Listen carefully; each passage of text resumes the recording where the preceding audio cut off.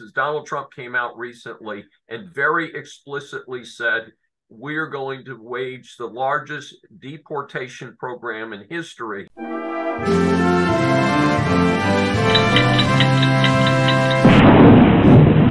One of the pieces is that Trump supporters are certainly going to be gung ho about sending people back who came to this country illegally.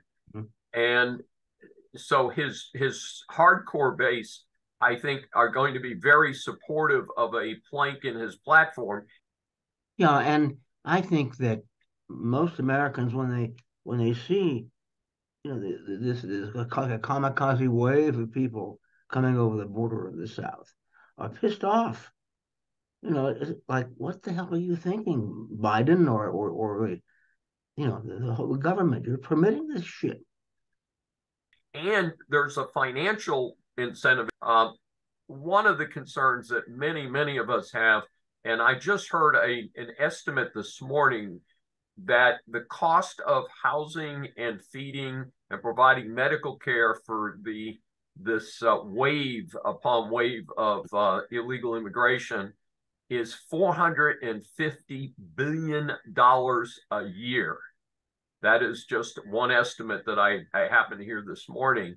And the country has a $33 trillion national debt. And I believe I also heard that the service on the national debt is $1 trillion a year just to pay the interest on the money they've already borrowed.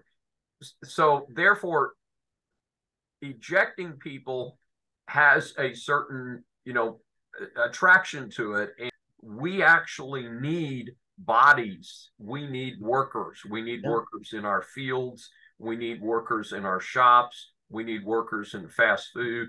Uh, I was um, attending an event this past weekend in Las Vegas, and the hotels there will tell you, hey, unless you tell us you want your roommate up, we're not making your room up. And it's not because we're being cheap, it's because we actually do not have enough bodies on our staff to change your sheets and towels every day. So, certainly, there's a certain sub rationale here of putting able bodied people who are willing to work to, uh, you know, incorporating them into the uh, uh, system of commerce in the United States. And there's two pieces to this that people who are not coming to this country to work and to take real jobs and to fill real jobs that we need in technology, science, healthcare. And I, frankly, I don't see people creeping over the southern border fitting that description because they could come here legally. I mean, virtually anybody who's a medical doctor, anyone in the world wants to come to uh, United States, any computer technician, you know, person with advanced degree in computer science, um, advanced science people, they may have a little bit of a queue, but I mean, the, the, the doors are wide open. And many, many people who come here for a graduate degree can parlay that into uh, after school education. And many of them, once they do the uh, optional professional training, it's called OPT, many of them then convert to um, green card, you know, legal status. So indeed, the attraction of the, the Trump pitch is very strong. This is Dr. David D. Schein for this special edition of Saving America. Thank you for listening. If you've enjoyed this episode, please subscribe.